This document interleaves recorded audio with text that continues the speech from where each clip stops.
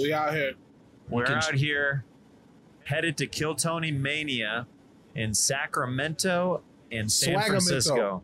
Swagamento. Swagamento. That's David Lucas's voice that you are hearing. He's right here. And Yeah. we also have Ryan J. Ebelt. And you want to pop in frame a little bit?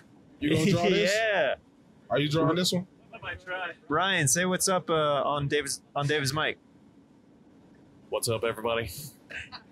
That yeah. motherfucker got so much swag with that ponytail. Heck yeah. Uh, behind Ryan J. Ebelt, we have Brian Redban. Hello. Brian. Uh, and then uh, to his right, uh, we have his girlfriend Janice. Hello, Janice.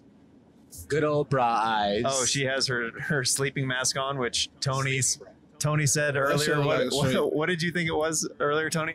I thought it was one of those Asian cough masks. Why, why is it always Asian? Nah, they're the only people that wear though. I go on No like other- stereotypes no one- and stuff. Hey, there's some bison on the right. Speaking of stereotypes, Wow, Asians know a lot about bison. those. That look like a cow, red man. exactly. Exactly. Exactly. oh my goodness. That's the perfect start to this thing. And then um, behind uh, Janice is Joel Jimenez. What's up, Joel? What's up? What's up? Hello, hello. Hey, hey. Uh, and then to his left, we have the one, the only in the middle, William Montgomery. Hey. Hello. Hey, William, how are you, buddy? Good. How are y'all? Doing well, man. He bought one pair of boxers for five days. yeah, he got he got all his But- shit in a Ziploc bag. but somehow he brought seven pairs of Crocs.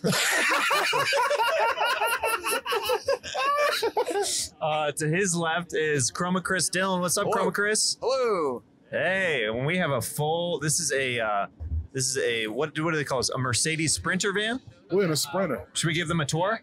Give them a little tour. We're in some rap shit. So uh, this is like a kind of a. If you guys want to kind of pass the camera around to the Yeah. back, Let me show. yeah, right. We got to show on the. TV This is like an Xbox. interactive. Yeah, you see that? TV, Xbox. It's it's called a Mercedes Sprinter van, I believe.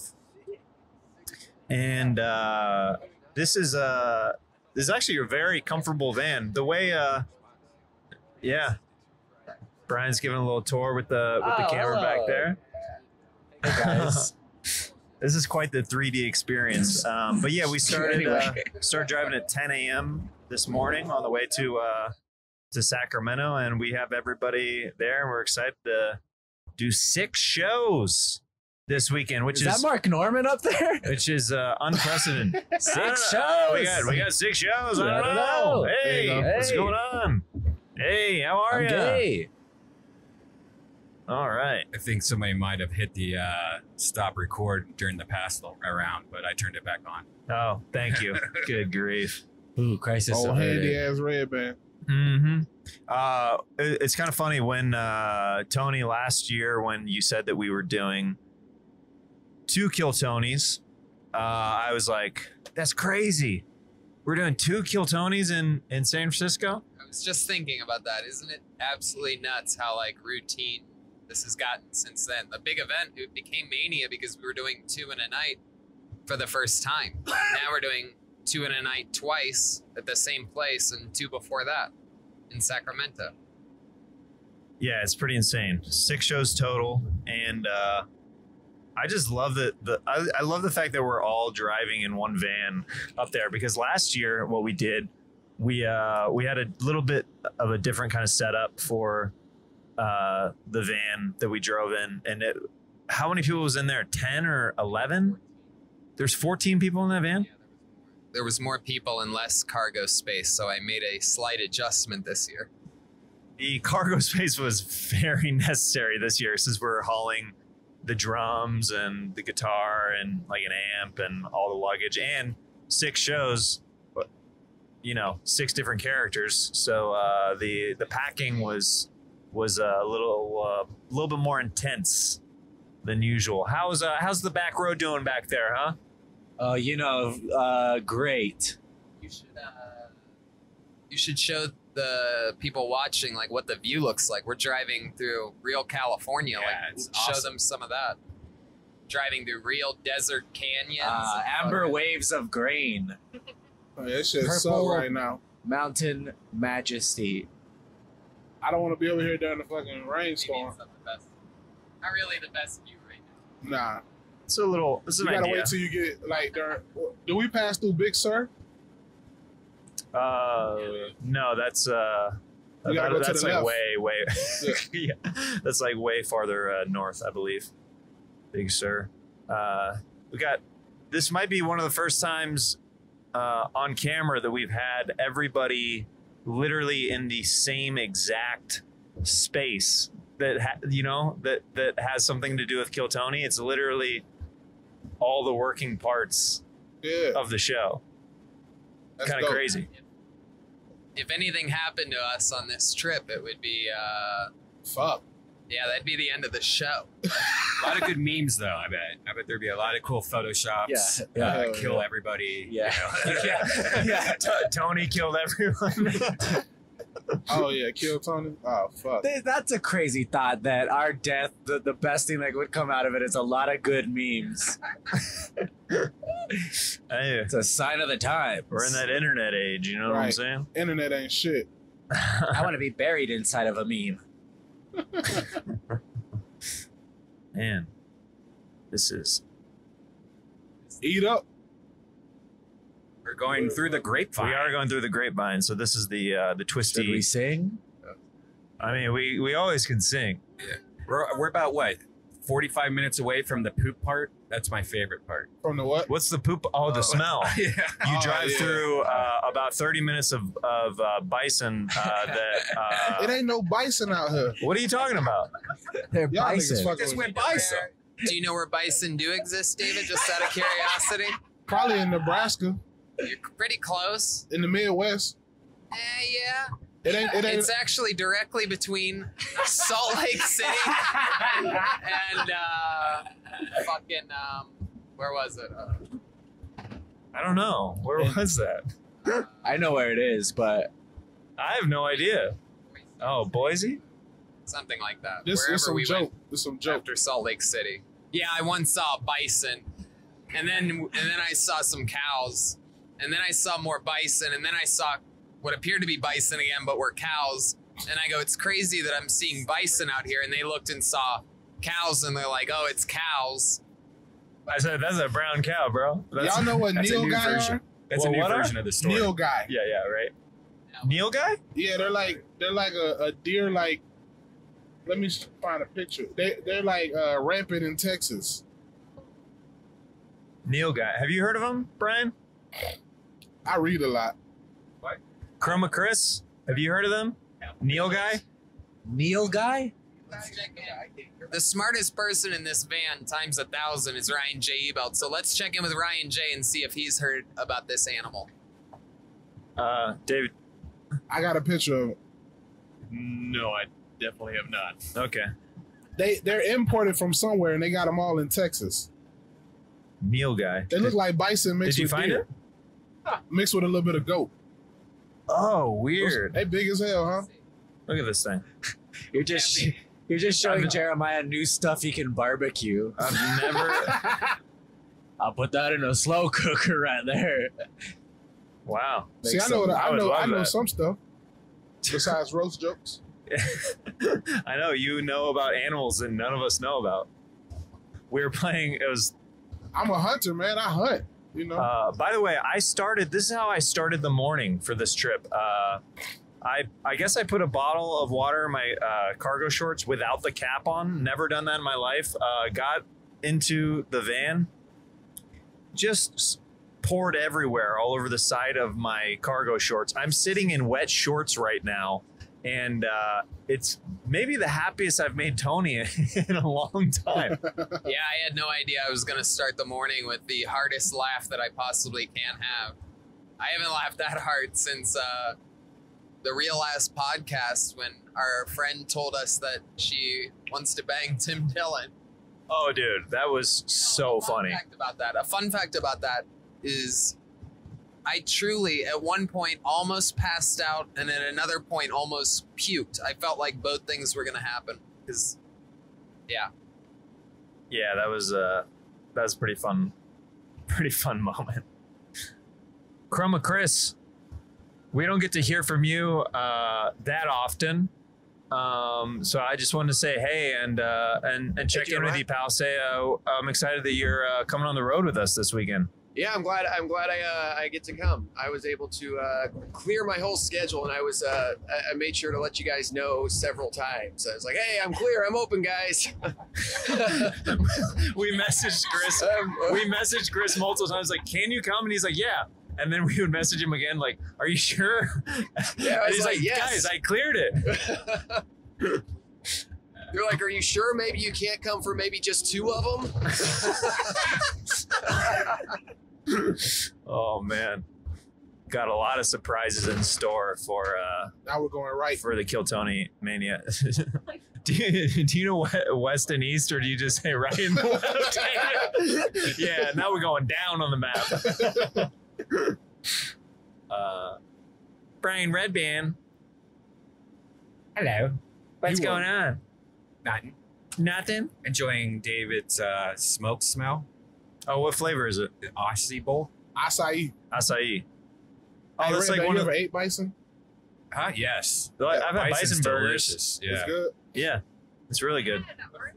You had it at Arby's, Janice? Yeah, Arby's. Arby's had a limited edition bison uh, sandwich, and it was actually even- really good. I don't even know how Arby's still exists, man. What do you mean? I, I, People hate on Arby's. I like it. Arby's.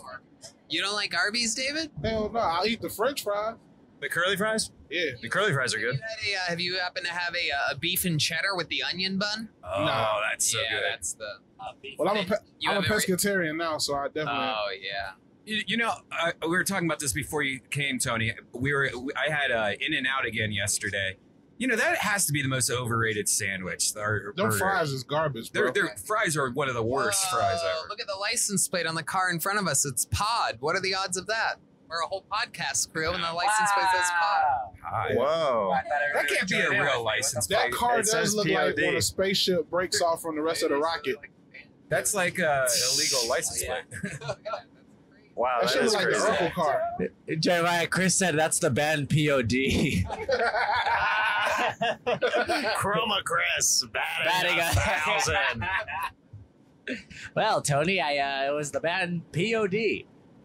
That's so funny. Dude, Jeremiah, what if we drove by what- and it was the lead singer of POD? You're in the Jeremiah, what's your five favorite uh, fast food burgers? My five And favorite ranked- fast food ranked- burgers? ranked in a row, like number one through Ooh. five. Okay. Um, can be from any state, correct? Any state, but more, more like nas- nationwide for the most part. na- national chains. Yeah. Okay. Um. Hmm. In and Out is in my top five. Is It is. Yeah. Whataburger's in my top five. Me Whataburger. Whataburger. Uh, trying to think of um, other chains. BK. BK's garbage. I would I wouldn't put them in my burger top five. Definitely not in my in I my. mean, who's in it? You got Shake Shack. You got In and Out. Oh, You Yeah. got uh, what's the other burger place? Five guys. Five Guys. Y'all ever had cookout? No. Yeah, that Yeah. back. Yeah, backyard burger, whatever. Yeah. But they got them in the south, real heavy. I would say Number one, Shake Shack. I would me. put Shake Shack in there for sure. And, and Five Guys. Yeah, Shake Shack is up there. Five Guys, Shake Shack. she said Wendy's. Wendy's ain't In-N-Out. bad. Wendy's I is like pretty Wendy's. good. Certain certain bacon. Uh, they've got some good bacon there, like Chris what is on their on their throwing, uh, burgers. Carl's Jr. into the mix. Ugh, garbage. No, not for not. If we're talking breakfast, they have the best biscuits and gravy. Oh my Better than goodness. Whataburgers? Uh, Whataburger's pretty fucking good. yeah, their their What biscuits about a and gravy steak is really and shake good. burger? Frisco Oh, nuts are good, sounds good, though. but that's about it. Steak and shake is Steak and bomb. shake's pretty good. Have you ever had the Habit? The Habit's one of my favorites. Yeah, Habit's No. good. Uh, yeah, I mean that, that probably consists of like the top five like burgers uh, that, that are that are to go. Checkers. I've never been to Uh, Checkers. Is that considered fast food? You think? Hell yeah, that's Yeah? yeah. yeah. Bro, they don't even have nowhere you can sit down. Oh, really? Yeah.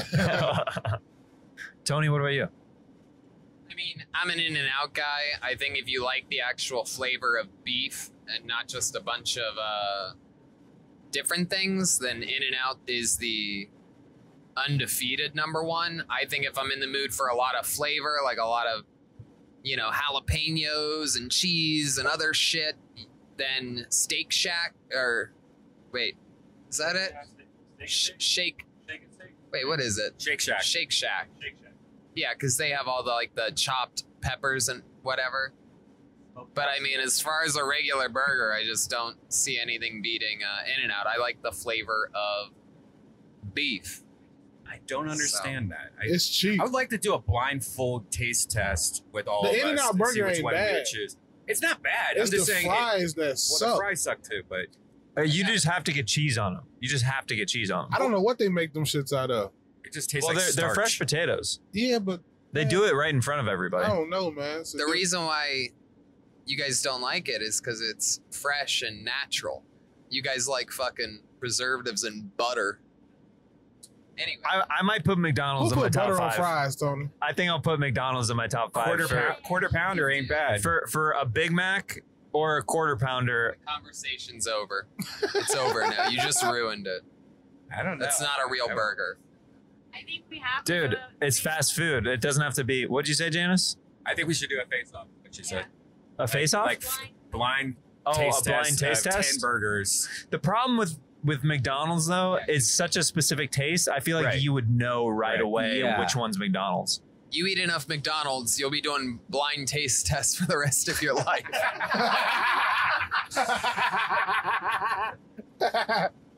Hilarious. Okay, then let's uh then let's talk. Uh, well, there's I guess there's not. I'm we should to stop and get some fruit.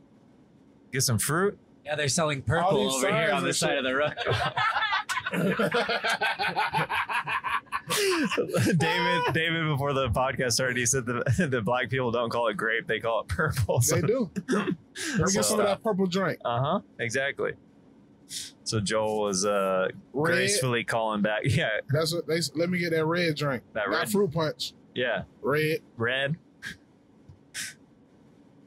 Green is not like a super popular color that ever uh, took off like for fruit. I see drink. Ecto Cooler was pretty sweet back then. Other day. than Mountain Dew, but that's not really fruit. Jolly Jolly Ranchers, green's a good one. Yeah, it ain't no green drink outside yeah, of there's Surge. not a green drink. Yeah. They tried to do Mountain Dew. Shrek ketchup, and they when that movie came out, Oh and there was God. green ketchup, and it didn't sell because it freaked too many people out. That sounds stupid. Ecto Cooler. yeah, Ecto Cooler. What's Ecto Cooler? Ecto Cooler is a drink by Hi-C from the Ghostbusters days, and uh, it was the best, man. It was the greatest drink, like ever. It's pretty good. It had the green monster on it. Yes, I remember that. Adam Ray. Oh, How was the remake of Ghostbusters? Billy Bonell, the reference that Brian Redban has dropped in literally, I want to say, 30 episodes of Kill Tony sprinkled out the years. He's like, you look like Billy Bonell, and no, like, like he's our buddy, and he's a super funny LA comic, but like for somebody in rain in a random state, like And then there's Mexican Billy by now. Even Billy Bonell doesn't get the joke. yeah, because his name is Billy Bonnell. yeah.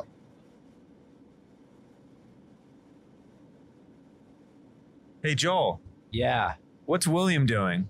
Oh, he's back here playing one of those fucking like Clash of Clans games or something like that. Hey- and then as soon as you asked that, he opened up his notebook. Now he's writing. Oh my Hey, hey, what, could, hey! Could I talk to William Montgomery you for a can talk to second? William. Seriously, I'm not talking a lot. I uh I have the measles and the mumps, Oh no! a gash, a rash, and purple bumps. My mouth is wet, my throat is dry, I'm going blind in my right eye. My tonsils are as big as rocks. I've counted 16 chicken pox. And there's one more that's 17. And don't you think my face looks green? Wait a minute, are you reading Shel Silverstein? Yeah, This is Shel Silverstein, a giant, He's reading Shel Silverstein. Silverstein guy. Oh my goodness. I thought it was some Dr. Seuss. Who could all Dr. shell. Seuss gets the flu. What is this is like no man's land out here. I ain't seen a restaurant in 20 minutes. Yeah, this is uh, John Denver was full of shit. It's so flat around here. It's crazy. Well, We'll uh, oh, get a little tour of Taste of California. I mean, who would have thought that Right. parts of California are like this? Exactly. So Right. stop moving here. All right, did somebody fart back here? Yeah, it was William, definitely. Oh, Yeah, we may be coming up on the it's a cows. bison. Yeah, there or you go. William farted while reciting Shel Silver. God damn it! Can we open a Can we open a window for like a second? No, just have David blow some vape vape yeah, clouds David, back will you there. blow vape juice this way, please? Jesus. That's that's the Christ. new air freshener for farts is just vape. Oh no, the flavor he's smoking is William's farts. Oh my goodness. Oh my God, it's increasing. What's going on I'm glad I there? Sorry. smell that shit. That was an No accident. farting. Man. Yo, that smells like purple fart back there, guys. He had to stand up. Man, that hair came out. That one. It, You need to it was the either need you farted. drawers. Ag- ugh. either you farted again or it like got worse. I know it's It's that bad because he probably don't have no underwear Smells on. like yellow. It smells like yellow, William, you back there bare booty farting? Hey, Your uh, shorts is Wait, moist. Janice, I need your Asian face mask. I don't know how William made my shorts wetter when he farted. Who'd I have don't know how thought- sit next to. William, they said. It'll be fine. Hey, uh, Joel, have you learned anything about William on this trip? Because uh, uh, I think it'd be good to get to know William a little bit more. Um, no, not a damn thing. I, I did find out that he really is getting he really did get kicked out of his house. Okay, William, can we do two truths and a lie with you? You have to tell one truth, though. My hair's red. two Um, lies and a truth.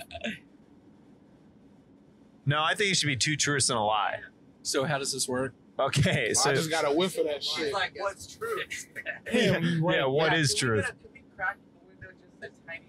Dude, it's the What's going it's the stuff outside, dude. You gotta you gotta chill out. It's literally outside. There's a farm right there. It's gonna be oh, Joel. Oh, here we go. Joel, it's it's gonna be way worse if we crack the window right now. Why y'all keep saying bison? Because it's a running thing without. Oh, I'm like, who the fuck herds bison? There's a bunch of them over there. That'll probably be a superfood. There's a ton of bison. Look at all that. Look at all those blatant bison over there. And they got Dude. them, them bison got solar panels. Man, they got spots on those bison. They got 101 Dalmatian bison. Cows are Tyler. ugly. I, I, I think they're adorable. That want, black and white shit don't do it. it's like uh, Yeah. Nah, that's that out no, there. it's it's definitely outside. What is that? That sulfur smell? Try to talk into the mic, guys. If if Too much nitrogen. if, if you're uh, back there with it. Uh, Oh, that's not even the bad one. so two truths and a lie with William Montgomery. Let's try to let's try to get this off. So so William, you have to tell two truths and one lie, and then we have to figure out which one is real and which one uh, which two are real and which one is the lie. Okay. Okay. I have red hair. I'm on Kill Tony, and I killed a man. William, you ready? Uh, yes. Okay. Stand up a little bit. Um, uh, oh, so cool. We should try to make a truck I didn't know try they to, grow cotton in you should try to make a truck honk for old time's sake. Oh, Monster Energy Drink Tour style. 2017, my friend. That's it. That's cotton, bro. I'm black, I know. I wasn't going to touch that. William, you ready? uh, yes. Okay. Two truths and a lie. We don't know the order and arrangement. We have to guess. Go Okay. whenever you're ready. Uh, growing up, I had a three-legged dog named Binky who uh, uh, got let of, out of our backyard by my cousin Taylor. Uh, I saw Binky got hit. Um, a friend of my father saved him. He ended up making it probably five years after that. Um, that's one. Another one is um, there was a a a black lady who used to clean my parents' house. She had fake teeth. We couldn't find her fake teeth one day. Um, we're looking all around. My middle brother Vance is in his crib. He's a little boy. He smiles, and it's like this go- gold tooth smile. The fake teeth were in Vance's mouth. Um, uh,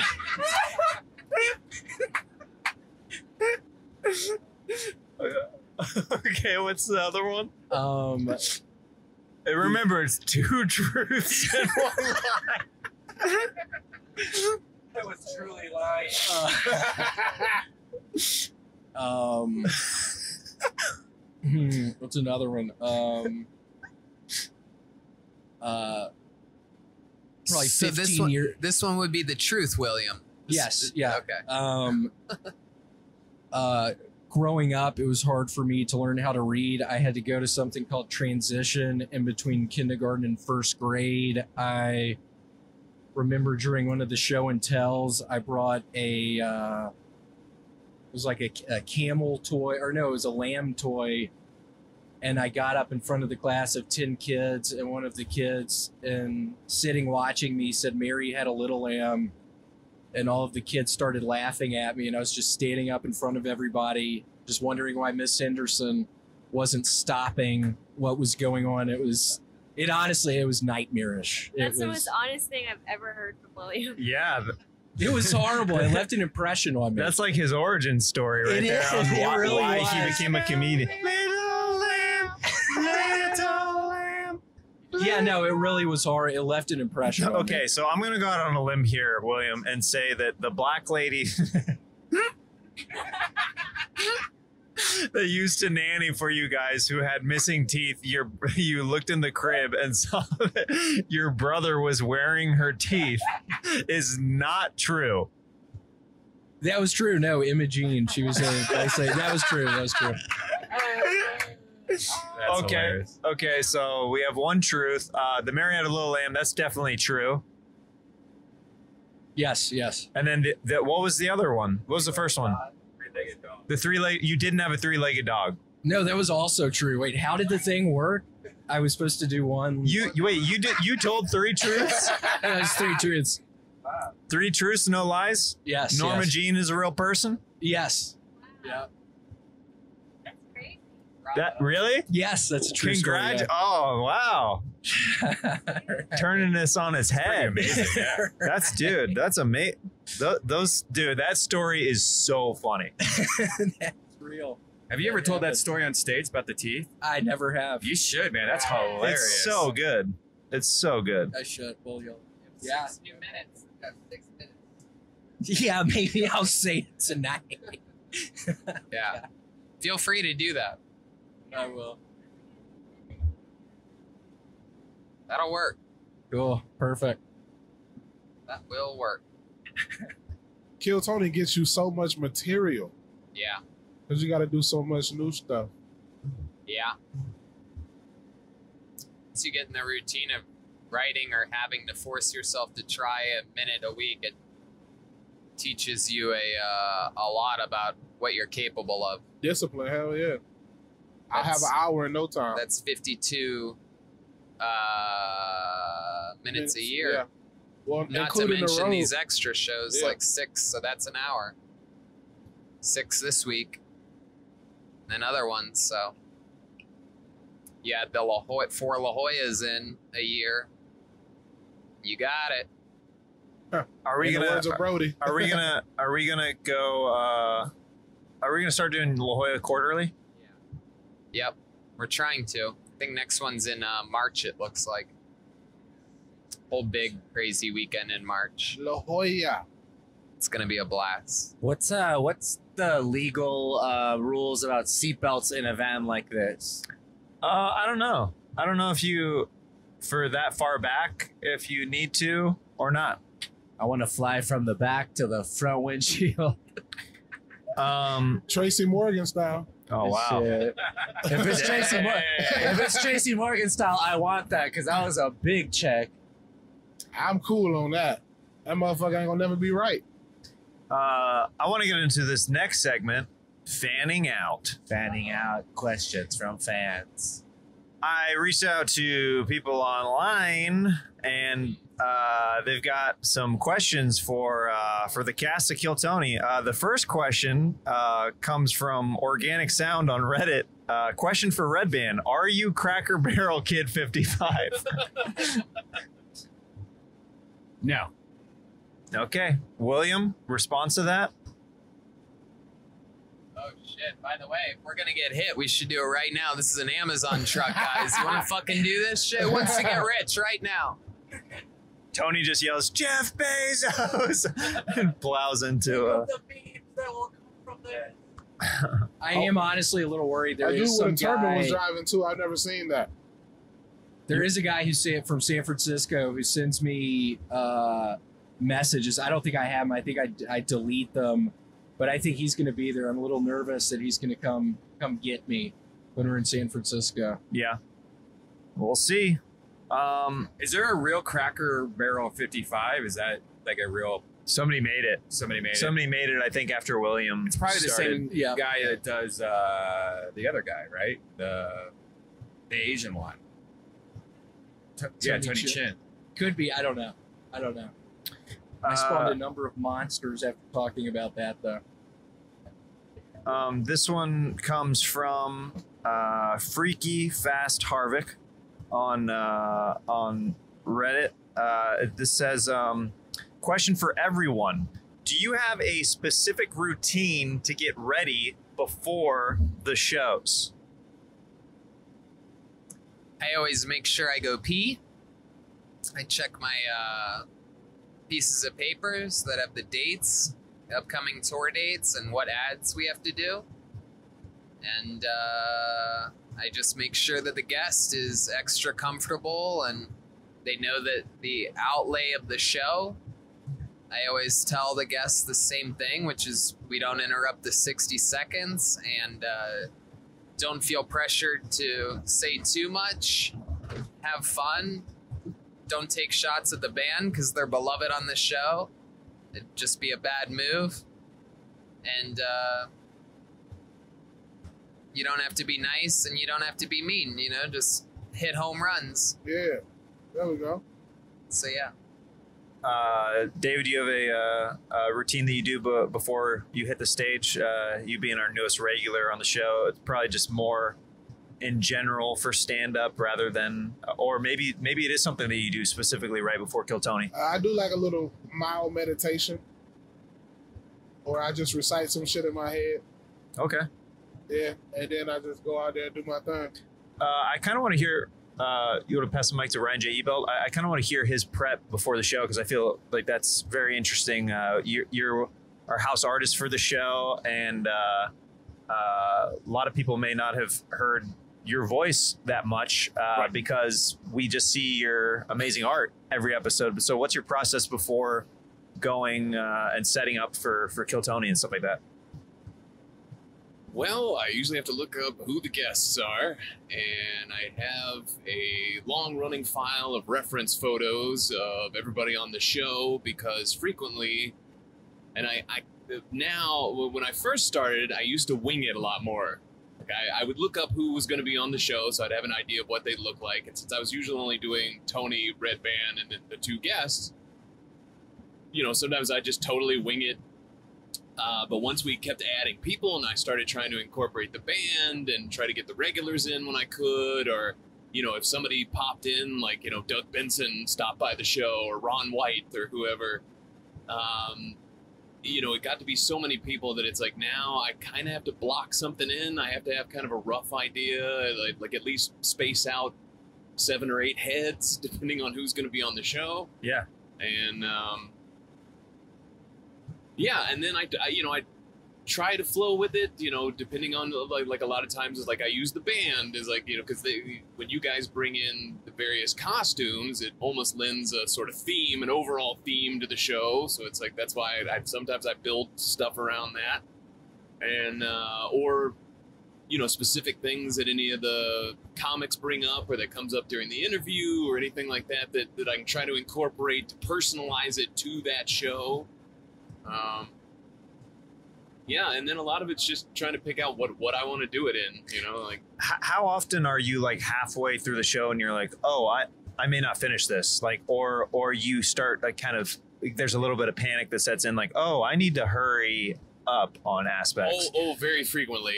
Uh, although usually it's not halfway because a lot of times I'm sort of like I I have an ear on the show. Uh, usually when freak out time occurs is whenever I hear, well, we have a regular on this show. Oh yeah, that's usually when I like- know because it's like, all right, we're gonna do the regulars, and we might do one or two more, and I'm and that's when I'm looking down, going, oh god, I've just got to start throwing stuff on here. Yeah, yeah, that's pretty cool. Okay, uh, Brian, do you have a prep that you? I mean, just hook everything up. Yeah, yeah, I don't really have time for prep. Usually, when I'm done hooking stuff up, I go in the back and chill with everyone. Usually, you'll ask Joel uh, or myself for uh, the song that we're going to come out for the intro, Yeah. and we either have to send that to you or Joel will send you like a Spotify link. Yeah. Uh, the bad part about my thing is when we go on these road trips, I have like different stuff I bring than I do on the Monday shows. And there's so many little adapters and cables and cords and it's it's about 30 different things I have to plug in or have. And then it's different from the road show. So it's it's kind of stressful because like when I especially when we come back from a week, I'm like, shit, did I bring all the extra stuff that I need for the comedy store show that I didn't bring on the road. And a lot of times it's like one little adapter can fuck me up. So now I have like two of everything and yeah. three of do you try to keep things like separate that Yeah. way? So it's yeah, Yeah. because I, I can imagine night would be super stressful. yeah. Uh, Thank you, Apple, for having me have so many fucking adapters. oh, dude, it's crazy. I mean, just the money that they've made off of adapters is insane. Uh, this is how far we are. Uh, uh, 263 miles from Sacramento is where we are headed right now. Just to give you guys an update.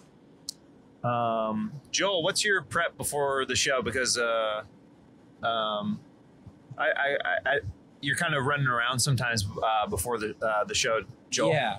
Yeah, when you ask pre-show rituals, Chris said that mine is panic.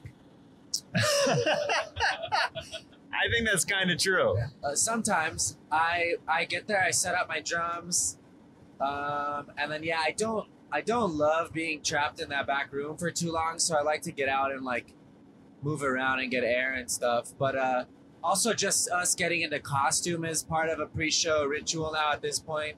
Um, yeah, that's it. I like when like right before we go out, you know, we'll all pound fists and like try to try to. We always say have let's have fun and Yeah, we always uh, kind of look at each other.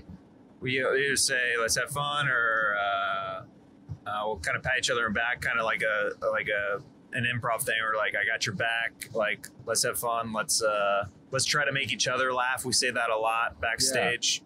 Um, Chris, uh, you and I uh, are always prepping music like crazy up until the last minute Yeah. before every single episode. I will Um, usually start planning ahead, like mid-week. I'll start trying to, uh, like midweek, I'll start trying to think of songs that kind of fit in with our costumes.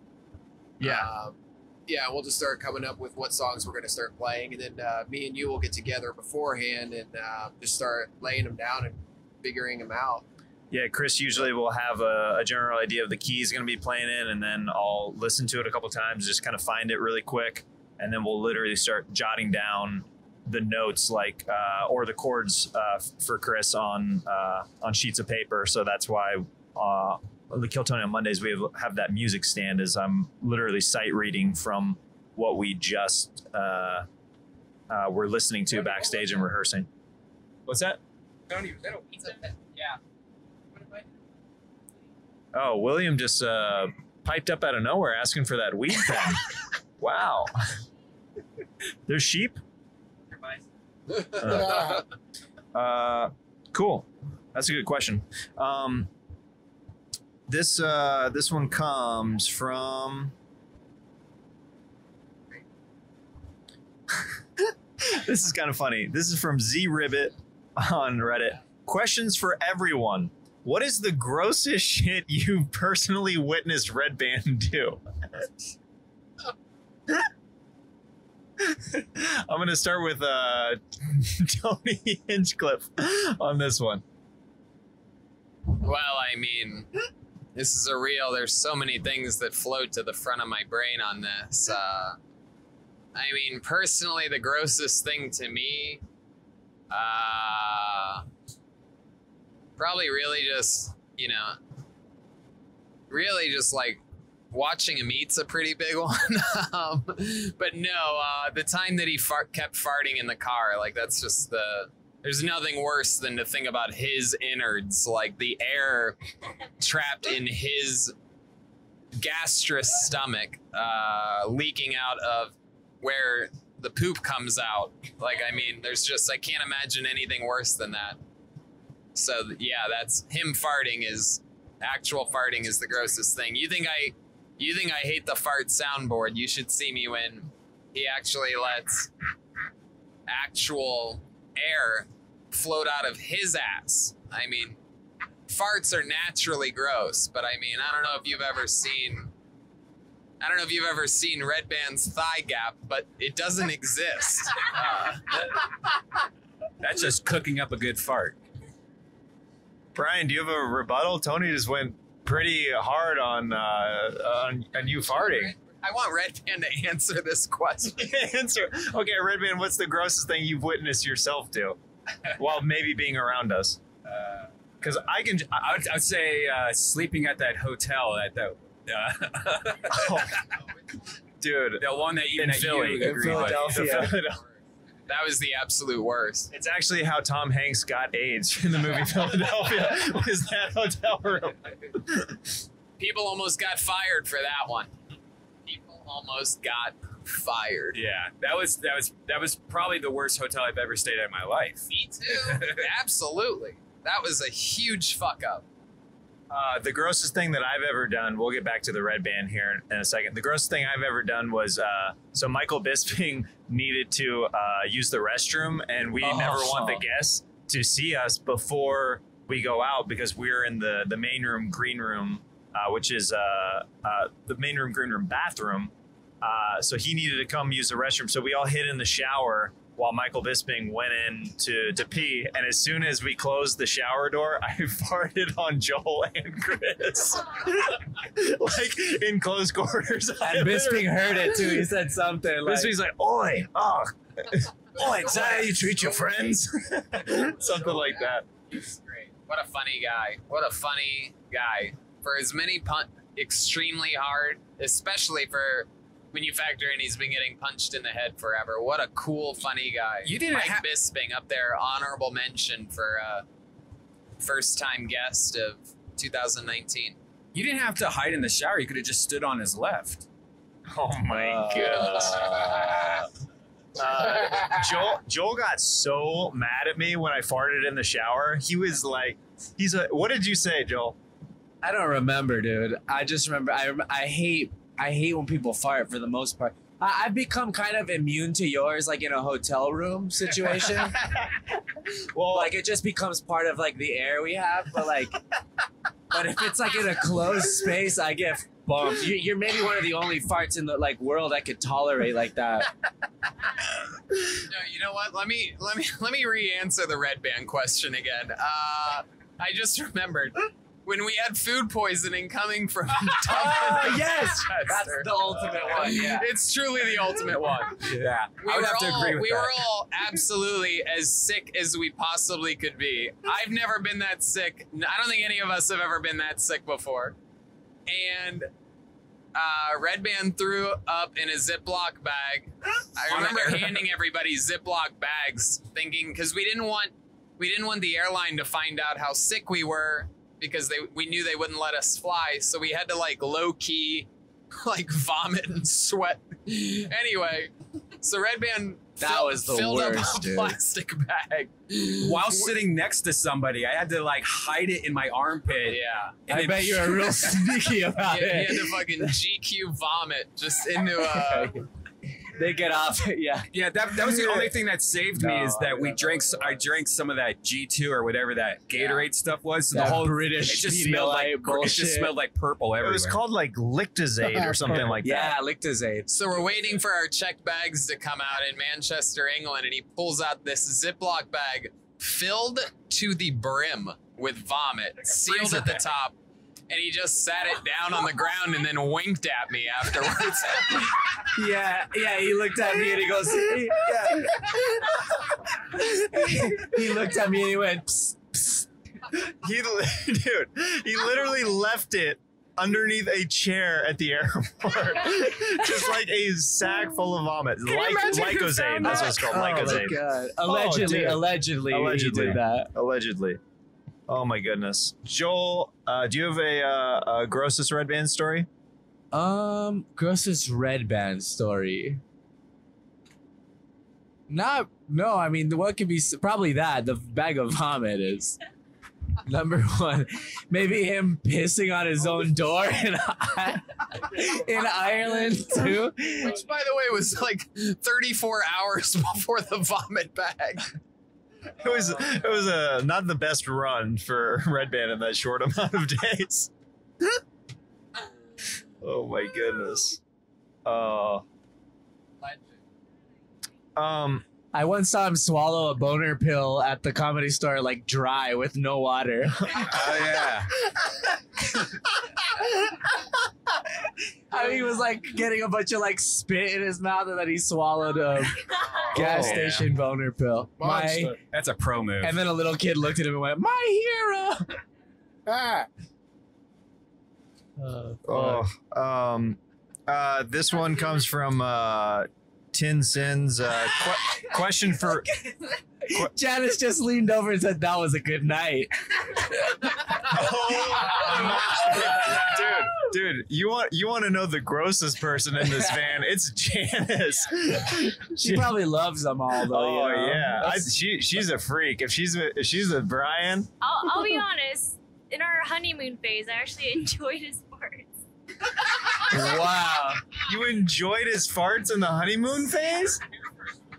Wow, what cult is Redban leading? I want to know where Janice is from now. What the? Oh, dude, that's so funny. Not, Wait, not Jan- anymore though. Okay, so Janice, this is a great question for you. What's the grossest thing you've witnessed Brian do? I don't think anything beats that Ziploc bag story. what about what about my? But wait, what? Oh, okay. Um, he does this thing where Oh He, like- peels off his nails. Like he doesn't clip his nails; he just peels it off, and then his toenails. And then he like leaves it on my phone when I'm not looking for me to pick up. Oh my! I couldn't hear. What was that? Tony's He gonna- he he takes his toenails and then he leaves it on my stuff, like my phone or something, for me to find later. I seriously am gagging. It's so disgusting. Oh, one time he gave me. He picked a bunch of his nose hairs and he handed it to me and he called it a faggot of nose hairs. what the frick? damn. Because a faggot is a bum- bundle of sticks, so that's why Brian called it that. It's an educated joke. But the toenail thing's fun because uh, you can just hear her like in the other room, like grabbing her phone and going, Brian, what the fuck? It's one of my favorite things. Oh, I never even. Uh, I it never even. That's so gross to me that I never even thought about Brian having toenails before until now. Like it's like my brain just protected me of thinking of what Brian's toenails must be like. But now I know they exist, and Yeah. They're It's easy to peel after a good shower. Oh my. So they're so, so that means they're never easy to peel. Oh. Dude, uh, this comes from Tin Sins. Question for William How dare you? Good question. Wait, who the fuck said that? Who the fuck said that one? From Tin Sins. here we go. Uh,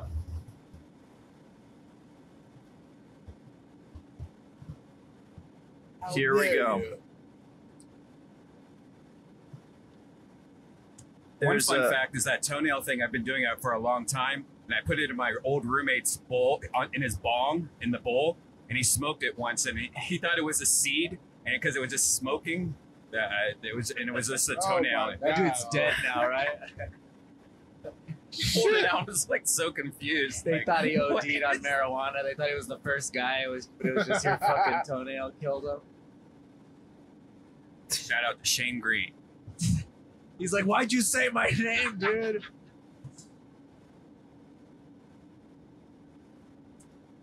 Uh, we have a good line of uh, semi trucks coming up here. If you want to, uh, Try it. I mean, I think we should. This is. We almost have no one behind us. I'm gonna do it. Let's see if we can get one here. There's a. It's a good effort. It's a good effort. We're gonna. I'm gonna speed us up to these next ones, and uh, we'll see what happens here. Jeremiah and I, at one point, were the truck honking champions of the United States of America. Me behind the wheel, him out the passenger side. Like right now, I think we're gonna get this one. Well, actually, this is a. This is like a tractor trailer type of setup here. No, I think you're gonna get it. This one's real. We got this guy. Come on. Oh, he's on his phone. He's on his phone and was looking at papers. That was a real homework assignment. And he's Asian. We're gonna get uh we're gonna get one of these ones up here though. That was an Asian truck driver? Look like it. An 18 Rira. That's fucking Never funny. gets old. I mean, there's something about an Asian accent. It's just funnier than everything else. All right, That's here we go. This is it. This is where champions are built. This is where they are made on the American highway. Come on. we got it. Yeah. That's one. Can he start the streak two, two right for three. now? Valencia Brothers Trucking. Come on, big money. Oh, he drive like a black dude. He had his hand behind his head. Oh!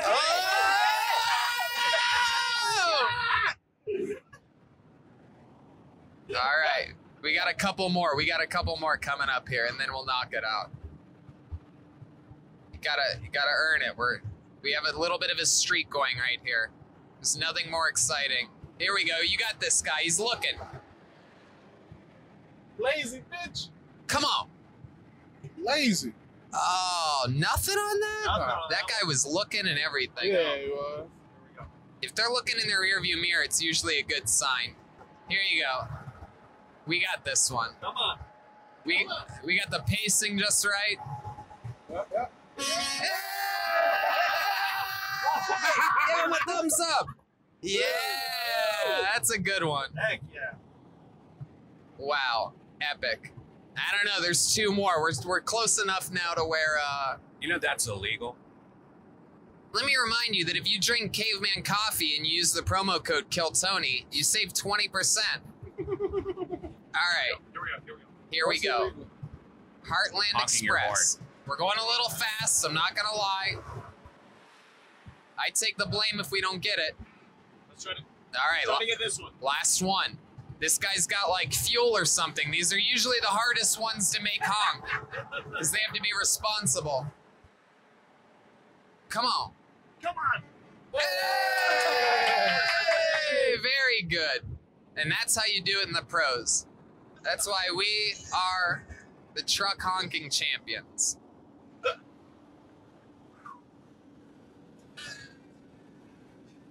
Two hundred and forty-four miles. Wow. That was exhilarating, guys. I don't know if that translated to audio or video, but that was a lot of fun. And Tony Hinchcliffe and I still remain the truck honking champions of the world. One of those things. It's uh, one of those things where when you're on the road, little things like that break up the monotonous uh, the monotony of being in a car. It's almost like having a connection and reliving your childhood. Uh, this is a question that uh, is is good. It is at Frog Dick twenty seven. Have you ever gotten any positive or negative attention from the Kill Bill crew? I hope Quentin or Uma watch. I have a little story about uh, this that Tony actually didn't believe uh, me when I told him because it sounds so far fetched.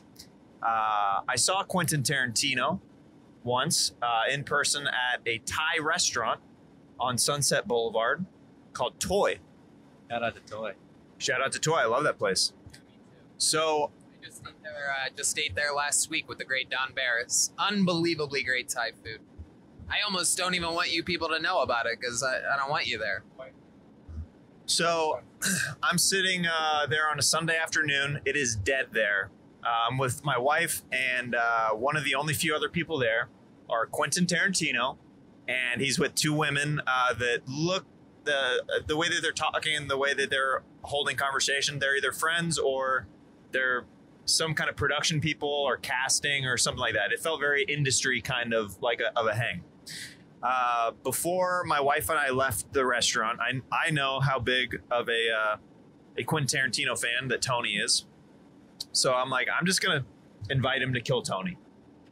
I don't know if what he'll say, but I went up to his table and uh, uh, I, I said, "Hey, really sorry to interrupt uh, your guys' meal, but uh, I'd love to invite you to uh, a show that uh, that I'm a part of that we do every week at the Comedy Store. It's called Kill Tony."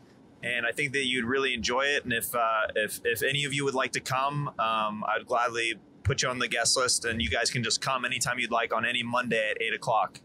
He goes, huh? Uh, where'd you say I was at again? I said, oh, it's at the comedy store. He goes, the comedy store, huh? He goes, thanks a lot for that invite.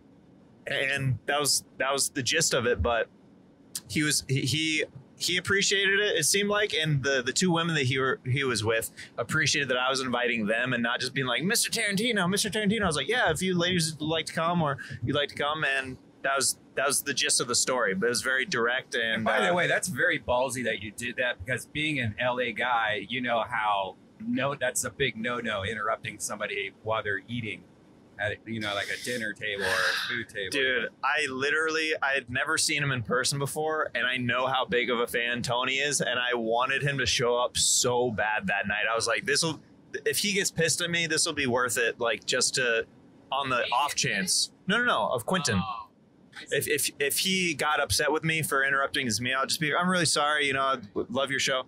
Literally at Toi, there's Quentin Tarantino stuff everywhere. There's Pulp Fiction posters. So just have him sitting like 15 feet away. It was very, very surreal. Um, here, uh, here we go. Oh wow! What was that? Oh, Oh, was that your phone? IG. Oh, that's coming through the mic. My bad. All good. Uh, oh, this is funny. This is for you, David, probably, and Tony. At John G. Doe, how far would David Lucas have to go before you kick him off the show for roasting guests too hard? if a guest was actually upset, would you feel obligated to let David go? I don't know. No, I mean, answer. I definitely couldn't. Uh, I definitely couldn't get rid of David for that. I mean, He just ushered me off like he did the other night. yeah. All right, guys, David Lucas. I mean, Jesus, you were you really? It's interesting because you don't. Uh, you don't fuck around, man. You hit people where it hurts. Like, Dude, he went after Eddie Pepitone's teeth. I was like, what are you doing? Eddie's the most like innocent bystander. And, yeah, and but then, he tried to say I couldn't swim. did he say that? Did you not hear him? Uh, he sort of insinuated. However, I knew he went over the line immediately. it's to the point now to where, like, if a guest starts to say anything about David, that's when I'm like, no. because yeah, I mean, I would never. I would. ju- I just wouldn't make fun of Eddie's teeth. If we hung out for like ten years, just the two of us, I probably would never make fun of his teeth. Meanwhile, He called him Jurassic Park. I was like, what are you doing? But at the same time, it's pretty. It's. I think it's a cool element, new element to the show because I don't ever make fun of the guests, so I get to sort of be like the good cop in that moment. Right, like, oh right. no, this is what he does to everybody. I'm sorry. You know what I mean? Like, I, there's. He's a loose cannon. I don't know what's going on. But man, that that Michael Bisping shit was epic. I don't know if the fan like. I don't think. Somebody made a meme out of that. They put Debo, Michael Bisping, and Oh then a picture God. of me. oh my god. Dude, I, for people who weren't there, they don't realize the degree and severity of the anger that was coming off of Bisping. I was, I mean, Tony, you're literally right next to him. I'm, I'm sitting on where the band sits, just seven feet away, and I'm like, this dude might get up and slap David Lucas. I was completely ready to have my right hand go behind Bisping's shoulder and bring him back down. That's I mean I was ready to pull him back down even though he didn't stand up.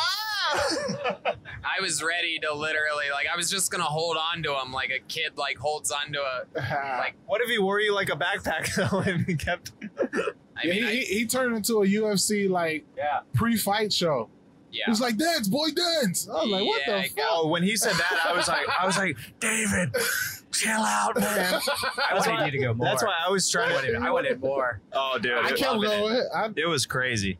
That was like I told Tony, he got one eye. He's not beating me. Oh, you could that's- just turn him that's- around on his chair that's and just- you wouldn't know. I mean, that's just insanity.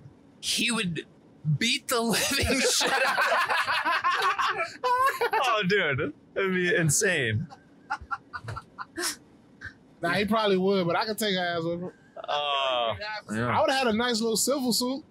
By the way, you get your ass beat by Mike Bisping on a live podcast, you're a legend. I'm so, viral. Yeah. That should have went Five ten million. five days later, and no one can even see, Brian's a different kind of viral. and no one could even see the bruises on you, David. So it's a win-win. Oh, shit. Oh Almost- no no, what's my name? Oh no no, what's my name? uh, this this is funny. This scary Birdman says, "Tell Brian to stop playing the cam girl jingle noise. I can't play the podcast on my work PC with that noise going out over the speakers." I love I love how that's the thing. well, the, well, then the comment below says Bones Jones as he goes, "LOL," but rape and asshole jokes are fine for work. like for whatever reason, the boss just hears a yeah. and there's like, "Hey, It what just- are you watching in here?" That just sounds like a, a text that. It sounds like a text message. Also, anybody, also anybody who knows what that is at the boss level, Yeah. then you'd be like, "How do you know what that is?" yeah, then you could bro out with that guy. Do you like Jeremiah Wonders and you're enjoying this roadcast with the Kill Tony cast? Well, come see me headline at a stand up comedy club near you. Huntington Beach, San Diego, St. Louis, Kansas City, and Chicago, all within the next couple months. Get tickets at jeremiahwatkins.com. Now let's get back into this amazing roadcast with the entire cast of Kill Tony. This is a Jeremiah Wonders roadcast. Rolling right back to you. Well, okay, this one comes from uh, at Christian H. Buck. What is everyone's favorite memory of Kill Tony Mania 2018? Mine is Mikey McKiernan on the panel crushing. Yeah, that's good. Thank you for that question. You just reminded me of something very important. Let's ask someone else first. Uh, uh, okay. Favorite Um, Kill Tony Mania memory? Yeah. Do you have a? Do you have Yeah, I, I would say just being in the green room with everybody, like in between those shows, having pizza and I don't know, it was fun. There was such a like almost um, rock and roll like concert green room vibe to it. Uh, Chris, what about you, uh, buddy? Because uh, uh, you get to go on like some of the the more like regional uh, shows with us, like to Vegas and to Arizona and like San Fran. So, what what are you usually feeling when we go on the road versus you know the vibe at the comedy store?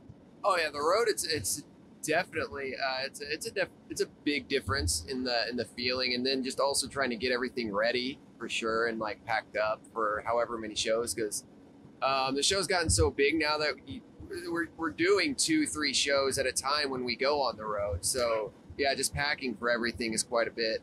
It's, uh, big difference. Uh, do you have a favorite memory from uh, uh, Kill Tony Ju- Mania last year? Yeah, just being in the van last year was actually uh, really fun because it was like 12 or 14 of us just all crammed in. But uh, like Joel was saying, it was definitely like a like a tour kind of rock star experience. It was really fun. Heck yeah. Uh, this one comes from at Dan underscore Pena. Uh, do you ever think about some way of getting rid of the I don't know I was called, I have nothing to say people? Maybe announce it at the start of the show that if this is them and they get called, just put their hand up and say next name? Huh, that's it happens so rarely nowadays that I think that uh, that I think that it says a lot. It's very telling about the person that got pulled out of the bucket if they say that. Clearly, they don't listen to the show a lot. Clearly, they're new overall. Clearly, uh, they're just not extremely professional. So it's not really. It used to be one of those things that I would really even acknowledge, but now I just, I don't. I don't even. I don't. I almost. I just go to my next question or what I want to know about the person rather than delving into that. We've already covered that. I try to keep every episode as refillable as possible, and just yelling at people without it being funny is a waste of a waste of everyone's time now and the momentum of the comedy show that we're doing. This one comes from uh, at it's me, Bob. Uh, what next step or steps do you want to see Kill Tony take? Obviously, it's doing fantastic, but do you see yourself starting to find it stale and needing to take it to a new level? I don't feel like it feels stale at all. I feel like it keeps evolving and growing. Uh, but I think that the the next steps is more of an interesting question than making it feel stale. Like what we're, I guess, what we're trying to do. I think we're kind of already. It's naturally uh, kind of evolving like with the theaters that we're starting to do as as if you look at the trajectory of some of our peers like the the Berts and Toms out there who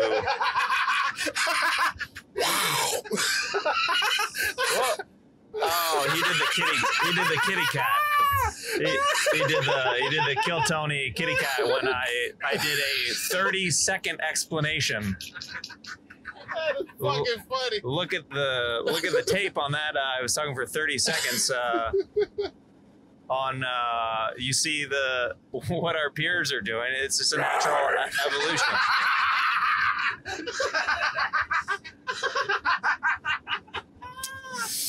Oh my god. I feel what Michael Bisping is feeling right now. uh, do you have any uh, thoughts on that, Brian? Uh, I don't remember. Oh, you know I what? do. I, it's a it's a dumb question. There's nothing. What the steps to take? I don't think it's necessarily a dumb question. Yeah, yeah, it's a dumb question because we already do it. If we told you every single thing that's you know that that I have envisioned for a year out or two years out, what would be the fun in that? Everything's happening organically. The show's. Are we talking about the show growing? Like next steps? It's already happening.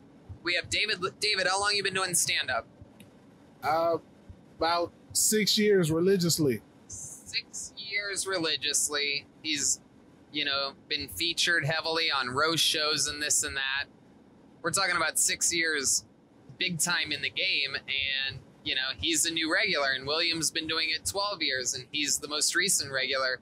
Whereas when we started, it was literally the regulars. It was their first times doing stand up. It was you know this and that.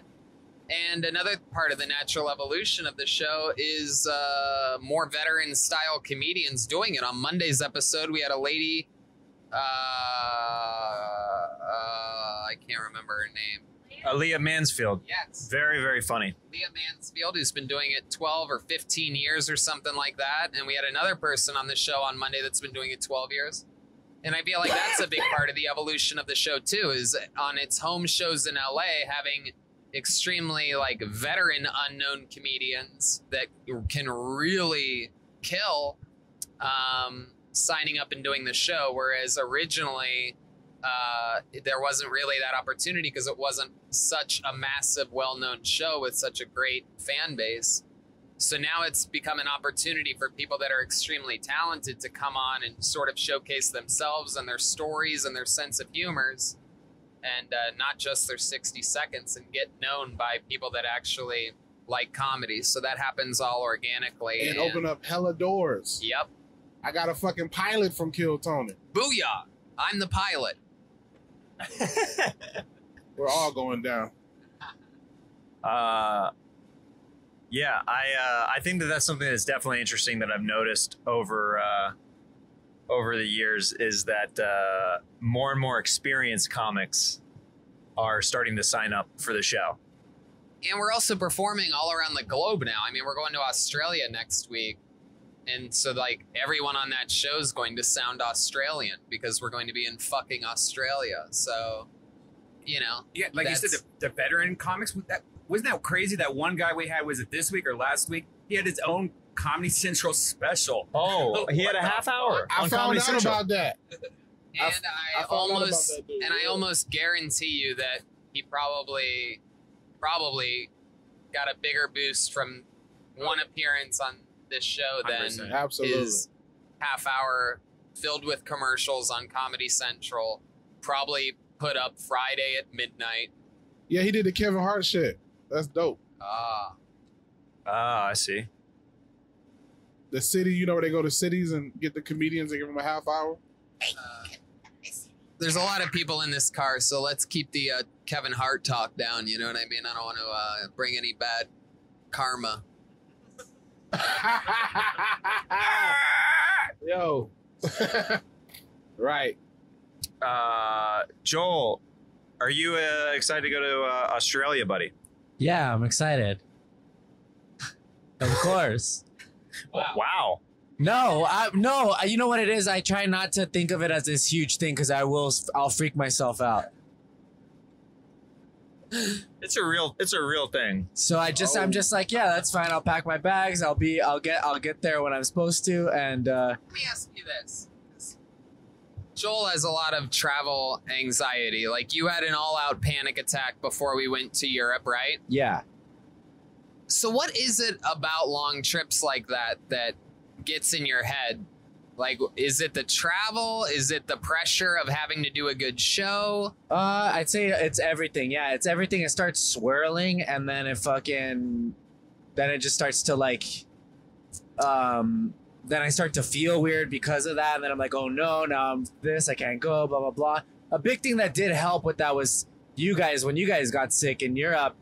Uh, that was like worst, maybe worst case scenario. And so being able to make it through that, now a lot of these other things aren't like a really a big deal anymore. I, I'm definitely doing better with it. I, Yeah. I just try not to like blow it up in my head before it happens. Um, whatever, I'll be it'll be great. Once I'm there, I'm fantastic. Or like it's an you know- interesting subject because I think a lot of people deal with anxiety a lot more than uh, they talk about, and um, and uh, yeah, Joel actually, you went to the hospital before we went to Europe, yeah, right? yeah. I used to have anxiety really bad. I, I checked myself in the hospital three times. I called the police on myself. Oh my once, god. But it just it just went away like around age forty. It just I started eating Totally stopped. toenails. Yeah, I mean, it's definitely an experience thing. The more times you fly and the more times you get out there, the easier it gets, just like anything. Yeah, yeah. Our summer tour really helped too because we were on the move so much. Like I got my packing down to a science. I got the whole.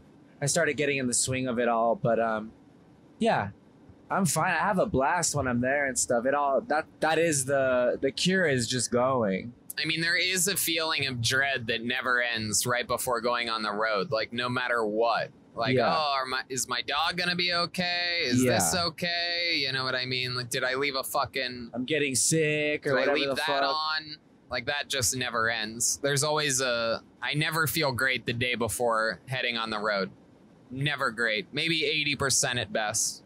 Yeah, I agree. For me, the only anxiety that comes uh, before leaving is the packing, because uh, just mainly just with Kill Tony, because I'm always wanting to make sure I'm not forgetting a piece of the, of a costume or a wig or something like that.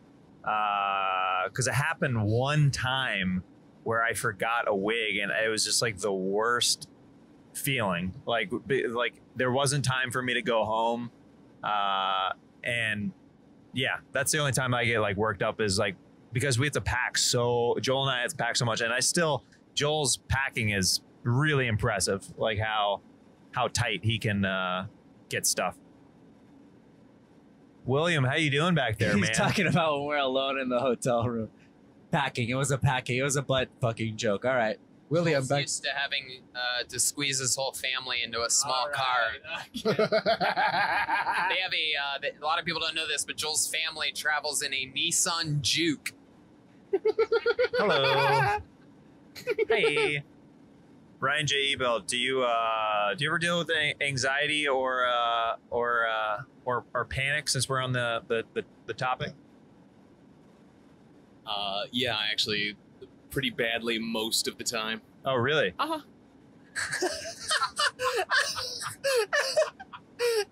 That's the best response. What uh, what what would you say is the origin or the the fuel of that? I have no idea. It's set in. Weirdly enough, years ago, I went on a road trip with some friends, and after the weekend was over, I got home, and for some reason, I had a mild freak out. I have no idea why. Like, was fine all during the trip. Got home, lost my mind, and for years after that, like social anxiety, worried about doing stuff like you're like it, it it's just sort of like a through line and i just then learned how to manage it Yeah. Wow. That's, that's definitely how it happened. It did that. That first one's a doozy. Yeah. Yeah. I remember that first one. It was crazy. I uh it was my first time ever smoking pot by myself or at my house. And I did it both at the same time. My mom, who very rarely left the house when I was a kid, went out to like dinner with my aunt or something like that. And I had uh, pot in the back of my Teddy Ruxpin. Like, uh, I still have mine. it was like 13 or 14 or something. Did it have a zipper on it? Yeah, it had a little zipper in the back with a battery pack. And I took a little bit of pot and I put it on, uh, I squeezed down like a Coca Cola can, put some holes in it. I ended up, because I put like a bowl on there because I was just used to smoking bowls with my friends. And then I'm like, oh, I'm by myself, but I might as well not waste the pot. So I smoked the whole bowl to myself. And then boom, I spent the next three or four hours just pacing, sweating, crying. I couldn't stop walking. I just kept pacing around in circles. I've only had one panic attack in my life, and it was during the weight gain challenge. Because uh, I've never I've never experienced it before. I was on stage at the comedy store, and one of the things that was really the the only health thing that was wrong with that uh, the the weight gaining is I kept constantly having sugar crashes. I would literally get so high off the sugar that I was eating and then and like an hour later i would start to crash and feel terrible because my body was so in flux with all the eating that i was doing. So i bombed on stage at the comedy store in the or late night. There's four people in there. I'm bombing so bad like getting nothing where I, my heart starts racing. I literally went out to my car and i started like breathing in and out like really hard and I started crying like in my car. And uh, that was the only time in my life I've had a panic attack. And it was directly related, I know for a fact, from the sugar that was going so up and down like in my body. Wow. You know your sugar levels are still like that, right? Somewhat, yes. It's it's definitely an issue. Uh, Tony makes fun of me because uh, after I eat a meal, I'll get a lot of energy, and then uh, an hour later, No. After you eat a meal, you get how Redban and I get after four drinks. Like it's like you get like happy and silly and goofy and you'll just be having fun and you'll do silly voices and impressions and And then he crashes and just Yeah. mumbles to himself with his eyes open. And he, Hey, that was on the back. That was, on the way back from La Jolla. Uh, Redban saw me at maybe one of the worst he's ever seen me uh, when I crashed after McDonald's. yeah. Which was the best It was the McDonald's best in the McDonald's I've ever world. had in my Like, life. they seriously It was messed up. really good. Yeah. Uh, yeah, Redban and I found a McDonald's that may not even exist. Maybe it was a dream. Yeah, it was a dream. It beautiful was it was that good. Uh, I want to do this segment. It's a uh, it's a it's definitely uh, a segment that's a favorite of uh, of Brian's and Tony's in the car when we do it. It's called Wait. Sax Talk. Uh, Now, uh, boo, boo.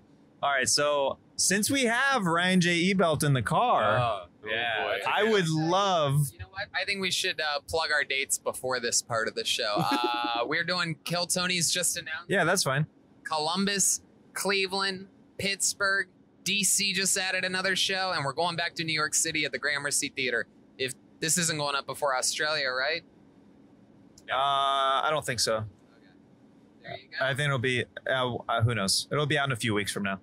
Columbus, Cleveland, DC, Pittsburgh, New York, and Calgary, Canada have been announced. Heck yeah! When Calgary's at like the end of January, right? Something like that. And don't, Uh, and don't forget for the best tech reviews, check out JTech, where Jeremiah reviews tech technology. Whoa! What? That's like a deep "I lived" reference. What did? Where? Where did you? uh Where did you have that? I'm a JTech fan. What, dude? Whoa! What the, Brian has my movie "I Lived" up. It's a this independent suspense thriller that I starred in. J-Tech. That's I so. watched it. That's so funny, dude. Oh yeah. Oh yeah, you have all the. All, is that a I have Google all the Images? sex scenes saved on uh, Oh my goodness, there is a sex scene in it. Um, Angry Jeremiah. Right uh, for um, this will be out. Uh, yeah, here in a little bit. November. Uh, at the end of November, I'll be uh, headlining in St. Louis at Helium Comedy Club, and then uh, December sixth. Uh, uh, San Diego with the Kill Tony band and William Montgomery. William, you excited for that show? I'm pumped. and then uh, December 19th through 21st, I'll be headlining in Kansas City. Uh, so yeah, let's get into sax talk now. Uh, Ryan, would you be willing to share a story of a, uh, a sexual encounter where I play some sax along with it? Sure. yeah, I'm excited for this. Um, whenever you are ready, my friend, I will follow you along. Oh, there's no there's no prompting. No. It could be a masturbation. Oh, you mean like uh oh, it can Yeah, it can no, I be don't have as any good ones of it, those it either. can be as innocent or as graphic as you'd like. I don't know. You may want to skip me. I can't think of anything good off the top of my head. Any any sex stories? No. This is how we find out Ryan's a virgin, and you play Careless Whisper to end the episode. Yeah, no, it, it, it- no, no, not not a virgin, but it's all pretty pedestrian, and I'm trying to think of anything even. What's the half weirdest place you've ever uh, jerked off? Well, I'm gonna say uh, probably the one of the first times out of the house at at Grandma and Grandpa's house. Hey, where's that saxophone, dude? Let's do this shit. God, it's the worst. Uh, so did you do it like in bed with them, like uh, Willy Wonka style, head to feet? Well, see, what was great, my grandfather basically had a Playboy subscription since the 70s. And for years, we knew where they were, like me and my sister, like we knew where he kept them stashed. But, you know, it was, and, and he was a, you know, he was a nice guy. He wasn't like, you know, particularly strict or anything, but it was always kind of verboten. Like, you know, you know, you know, you don't get into grandpa stuff, basically. But into Grandpa's stuff, you would eventually yeah, well, you know, but once uh, once the hormones started taking over, it's like it was a lot easier to make that transition. And it was in this chest next to his chair, like his his big like comfy chair in the living room. Ooh, Grandpa's dirty chair. And so you go in, and there was some like popular mechanics and like that sort of like magazines on top. Yeah, basically the book covers for the good stuff. Uh huh. But the real trick was, is it's like, you know, the way they were arranged, because of course when you're a kid, it's like you don't want to get caught. So I end up going into full, you know, Mission Impossible mode, trying to memorize exactly the order and how all of these magazines are organized in this stack.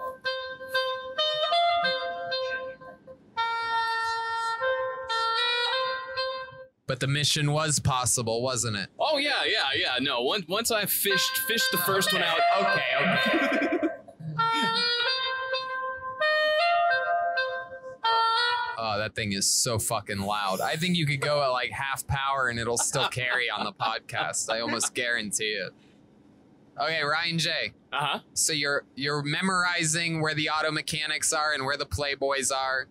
Oh yeah, and if you know if this one's slightly tilted compared to the angle of the next one underneath it, and then trying to like slide one out, you know, like, like Indiana Jones here, it's like, can I get one out without disturbing the entire stack and blowing anything else over? Absolutely. Oh yeah.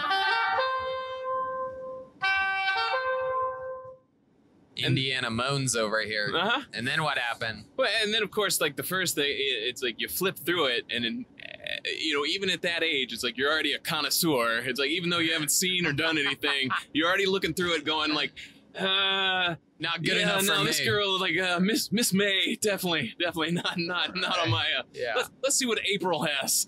So, yeah. And then next thing you know, you spit on your hand and you just jerk and you accidentally come all over the Auto Mechanics magazine and Oh no, uh, that was one where I, I did have a, you know, like suck in moment, like realizing like I, I wasn't paying attention to Oh. to uh, so yeah. But no. But but was smart enough to leave the magazine there, and when I went to finish, uh, you know, it, pure imagination based on what whoever I did end up liking. that's right.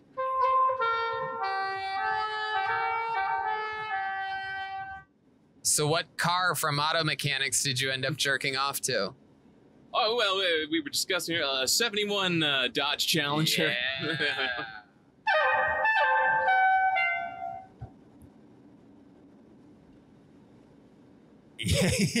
An abrupt ending to sex talk. Uh, so you jerked off uh, to one of your grandpa's magazines. yeah, yeah. Oh, Brian's got his sunglasses on, which means he's up to no good. What are you doing back there, Brian? You tell me when this thing's over so I could throw this Sour Patch Kid and hit it right at the camera lens so it'd be a cool ending. Uh, yeah, I don't know if I like that. Oh, dude, that was okay. This water is still open up here. It still doesn't have a, a cap, dude.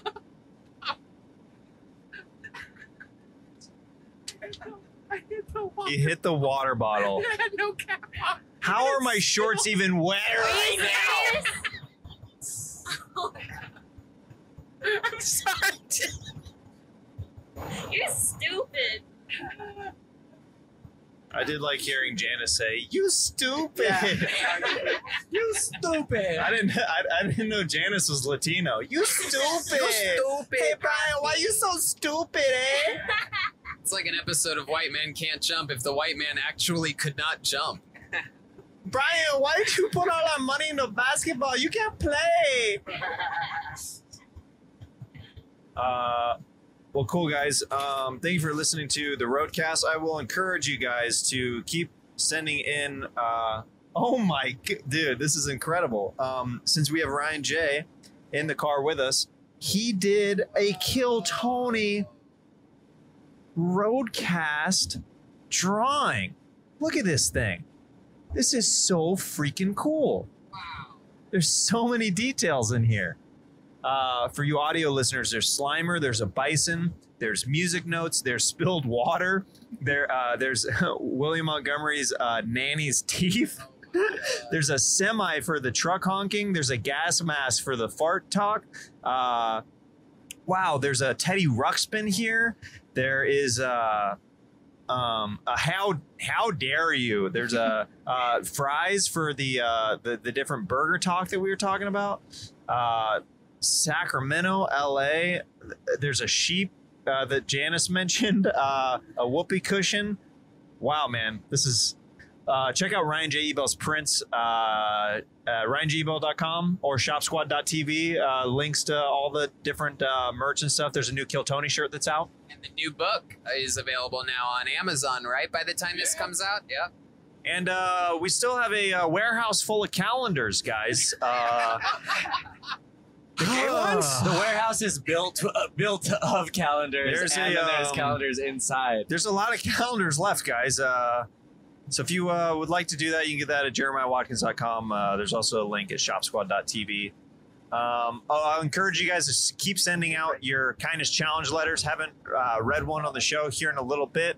Uh, I will say that I uh, I donated to the Dare program recently as uh, as my kindness challenge. What you do anything recently, Tony? You the qualifying? Yeah, no, I don't do any of that faggy shit to overcompensate for, uh, you know, only caring about myself. I just really only take care of my friends and uh, do uh, nice things for the people closest to me, not a bunch of strangers or organizations run by CEOs that take all the money and keep them. Well, it can it can be for uh, it can actually be for somebody that you know. Uh, it can be little or big. It doesn't have to be for a stranger. So uh, you're you're actually you're killing it at the kindness challenge, uh, and you're doing a great job driving and being our captain on this trip, my friend. That's right. The kindness never ends with me. Always in the middle of it. Heck yeah, we love you guys. Thank you for listening or watching this roadcast, and uh, we will see you in a city near you with Kill Tony. And uh, thanks for supporting Jeremiah Wonders. Bye, we love you. Okay, Brian. If you spill, oh, you did it! You did it! You did it! Congratulations! You hit the camera.